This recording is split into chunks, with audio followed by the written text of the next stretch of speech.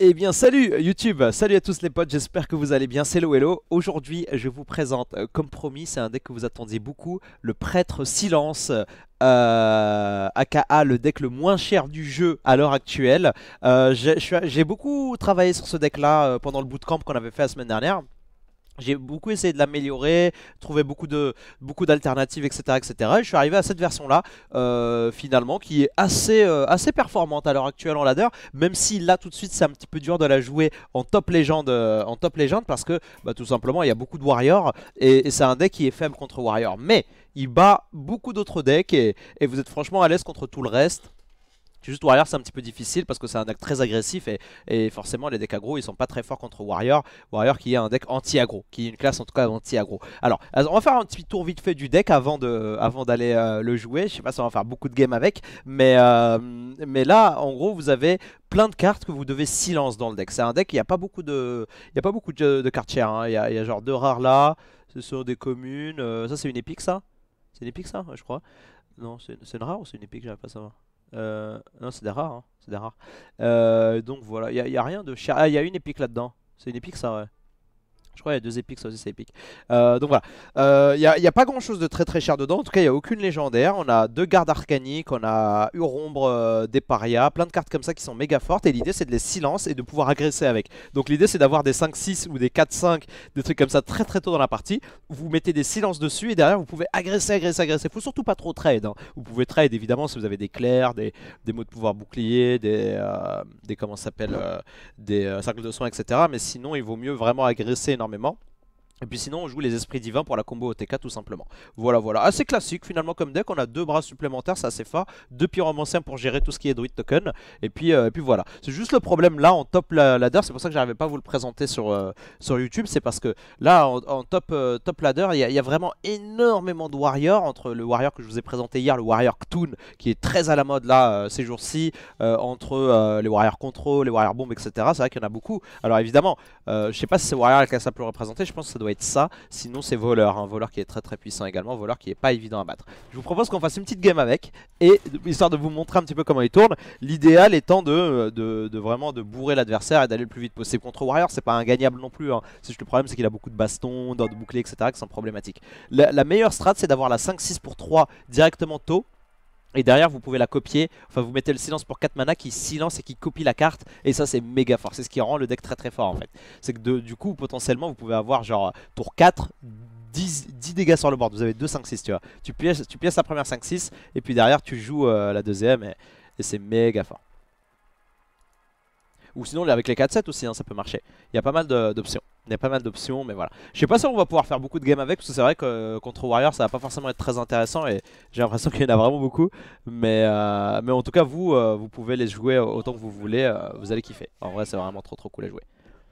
voilà, voilà. Ok, on a une 5-6, ça c'est cool. Par contre, je pense que Acolyte de la Souffrance, c'est un petit peu tôt pour l'avoir. Et je pense que mot de pouvoir bouclier aussi. Là, je vais plutôt aller chercher du silence. On a aussi les 2-3 qui silencent les créatures adjacentes. On a pas mal de trucs chouettes. Euh, l'idée, c'est de pouvoir silencer le truc le plus vite possible. Ça, c'est exactement ce qu'on veut pas. C'est trop tôt pour les avoir, les gars. Ok, ça c'est cool pour le coup. Ça c'est cool, mais... Ouais, faut voir ce qu'il va me jouer en fait. Faut voir ce qu'il va jouer. Par contre, si j'ai un esprit divin avec ça, je vais mettre bien. Hein. Je vais mettre très très bien toujours il l'adversaire et dire la lumière vous volera. Mais c'est un deck très agressif donc ça c'est une mauvaise sortie. Hein. Faut vous dire que la carte la plus chère coûte 4 mana, toujours retenir et donc du coup bah potentiellement ça c'est une très mauvaise sortie. Ça c'est dommage, ça serait arrivé le tour d'avant, c'était 4 dégâts en plus dans la tête. Là je vais faire ça et ça du coup sur ce tour. C'est quand même ça va, c'est pas trop mal. C'est pas ouf mais c'est pas trop mal. Et, euh, lui il joue souvent mage euh, machin là? Non on va voir. Ok l'immonde marais acide. Donc moi je pars. Oh waouh, l'âme sans repos, c'est mieux ça. Hein. Paf, on agresse. L'âme sans repos, vous avez vu la puissance de la carte, c'est très fort, c'est exactement ce que je vous disais. Genre vous jouez ça et ensuite vous faites âme sans repos. Ou alors vous piécez la 4-7, ensuite vous faites âme sans repos, ça me pareil. Alors que Brandon vient de s'abonner à, la chaîne YouTube, merci beaucoup Brandon, bienvenue à toi. Bienvenue Brandon. Alors je sais pas comment on fait là. Je pense c'est genre euh, ça.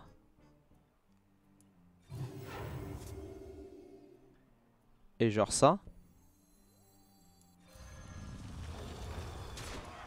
Hop Donc on agresse beaucoup ici. Il a pas beaucoup d'anti-bet en face. hein. Il a très très peu d'anti-bet, les gars.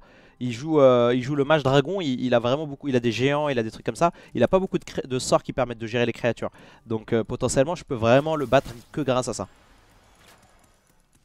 Au prochain tour, je peux jouer ça et silence les deux avec lui. C'est pas trop mal. Mais vous avez vu la pression que je mets Et encore là, j'ai pas fait la sortie méga aggro où tu fais pièce euh, 4-5, into 4-5 et après t'as gagné. C'est pas cette sortie là, tu vois. 7 et ça, ça fait beaucoup de dégâts en vrai. hein. Ça fait beaucoup de dégâts, mais c'est pas assez. Attends, si je silence, ça fait 7, 11, 12, 13. Si c'est létal ça. Si je fais comme ça, je silence lui et je fais ça. Hop là, bam Vous avez vu à quelle vitesse j'ai eu létal ou pas? C'est méga fort. Waouh Top 46, let's go les gars, let's go Euh, Vas-y, eh, vous savez quoi On va refaire une partie, les gars, parce que sur YouTube, moi je vous aime bien, moi sur YouTube. Moi, c'est les, les boss sur YouTube. Euh, on va se refaire une petite partie. On va voir peut-être tomber contre un autre deck. C'est juste, j'ai peur de tomber contre des warriors parce qu'il y en a beaucoup. Et warrior, c'est pas évident. Je dis pas que tu peux pas gagner, mais je dis juste, c'est vrai que c'est dur warrior parce que ils ont des bastons, ils ont des heures de bouclier, ils ont les sentiers de la guerre, la écho tourbillon. Ils ont euh, potentiellement certains des exécutions, ça dépend lesquels. Ils ont ils ont euh, les explomatiques, ils ont les euh, dévastateurs, ils ont, des, ruées sur tous leurs mechas euh, quand il y a Dr Boom. Je veux dire, c'est pas du tout facile. Ouh, vas-y, venez, on lui fait une sortie encore meilleure que la gamme d'avant. Venez, venez, venez, on lui fait la meilleure sortie du monde. Ok, alors pour le coup, pour le coup, je pense que je vais pièce sign tout ça. Du coup, il y a moyen que. Est-ce que je garde ces deux-là ou pas? Ou alors j'enlève ces deux-là Mais non, mais c'est des bonnes cartes, je peux pas les enlever. Non, non, on va tout garder, vous savez. Je pense qu'on va tout garder ici. Et puis, euh, c'est une bonne main, c'est une bonne main. Je vais juste piécer ça sur deux. Si je top deck un silence, genre une 2-3, peut-être que je pièce ça, on verra. Si je top deck une 2-3, genre peut-être que je piècerai euh, la 4-5, mais sinon. euh, Sinon, non. Ok, donc j'ai pas top decké, donc je vais pas piécer, juste piécer lui plutôt. Et si je top deck un silence pour 0 ou quoi, je me mets très très bien. Livre des spectres, ça serait bien qu'il défausse des trucs. Allez, défausse, sinon il peut me jouer un géant. Nice Encore une défausse? Ok, il, pioche, il a pioché quand même pas mal. Ok, donc piéçons lui, ça c'est vraiment méga bien. C'est cool de ouf. Et au prochain tour, je vais jouer ça. Espérons qu'il me fasse pas un hospice funeste sur ce tour, ça sera problématique. Après, moi j'ai des silences, mais. Oh, défausse des trucs, défausse des trucs Non Ah, il va full pioche là? Oh mince. Ok, c'est pas grave. C'est pas grave, les gars.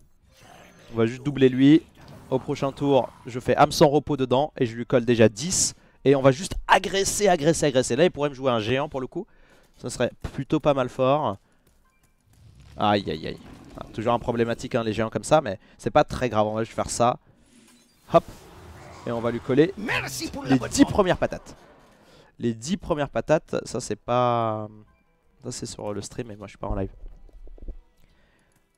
Et là vous voyez on l'agresse, on l'agresse, on l'agresse. On va essayer peut-être d'avoir euh, une inner fire, vous savez, qui met l'attaque égale aux HP. Et donc du coup avec esprit divin là on pourrait déjà avoir l'étal au prochain tour. Potentiellement hein, je dis mais suis pas sûr. Ok, il va en tuer juste un. C'est pas mal hein, c'est pas mal ce qui se passe. Attends, comment on fait là? Comment on fait ici les gars? On peut faire... euh, Si je fais ça, le problème c'est que lui il le tue quand même.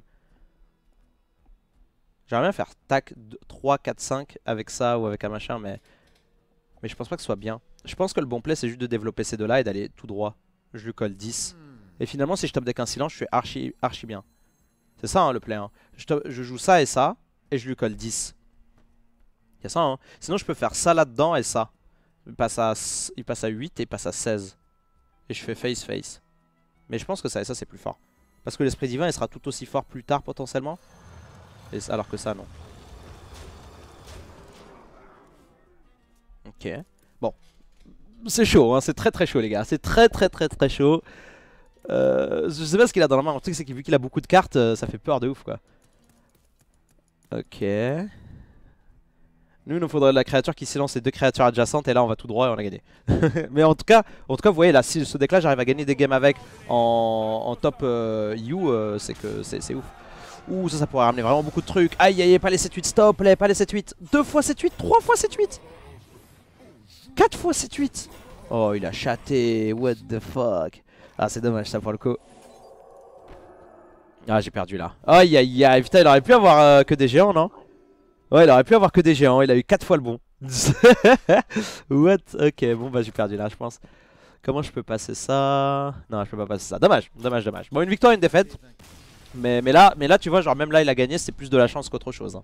Parce que pour le coup, pour qu'il ait 4 fois la 7-8, c'est quand même assez incroyable. Parce qu'en fait, il peut soit récupérer à nouveau le géant, soit avoir la 7-8. Et donc du coup, là, bah, il a eu 4 fois la 7-8. C'était soit l'un, soit l'autre. hein. Et, et du coup, il a eu 4 fois la 7-8, donc c'est quand même assez ouf. Et là, je pouvais plus jamais passer. Mais bon, voilà, je vous ai montré un petit peu le deck en tout cas. J'espère que vous avez kiffé. Euh, c'est un petit peu dur à jouer contre les Warriors. Si vous croisez beaucoup de Warriors, c'est pas le meilleur deck. Mais je vous ai présenté hier sur la chaîne YouTube le meilleur deck pour battre le Warrior, l'anti-war parfait. Donc euh, maintenant, je vous présente. euh, Maintenant que vous avez éliminé et éradiqué tous les warriors du ladder, vous pouvez désormais jouer ce deck là, qui est pour moi euh, le meilleur deck low cost du jeu. Voilà, c'est même pas pour moi, c'est sûr, parce qu'en fait c'est le seul deck low cost qui est jouable en top légende et que tu peux battre des vrais decks avec beaucoup de légendaires. Donc c'est vraiment ouf. Voilà, voilà, j'espère que vous avez kiffé cette petite vidéo, messieurs dames, elle était euh, vachement courte. Moi, euh, je vous remercie d'avoir regardé. Si vous avez deux petites secondes en plus, je dirais pas non un petit pouce bleu, éventuellement un petit commentaire. N'hésitez pas à vous abonner également. Et moi, je vous retrouve demain pour une prochaine vidéo. Tchuss les potes